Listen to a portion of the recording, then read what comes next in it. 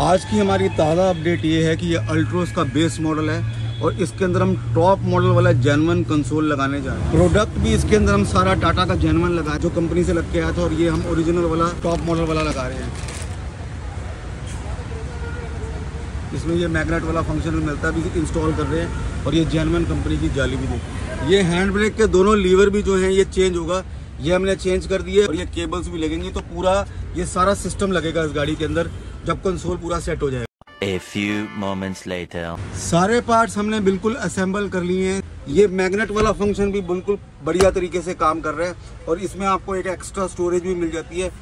Cup holder भी मिल जाता है जैसे कंपनी का ओरिजिनल आता है। तो टॉप मॉडल का जेनवन कंसोल जो है ये टाटा ऑल्ट्रोस के अंदर हमने सक्सेसफुली फिट कर दिया बैक साइड से भी लुक चेक करवा देता हूँ मैं आपको। देखिए यहाँ पे आपको वेंट्स का वाला लुक भी मिल जाता है और इस रियर एसी वेंट को आप बिल्कुल एक्टिव भी कर सकते हैं।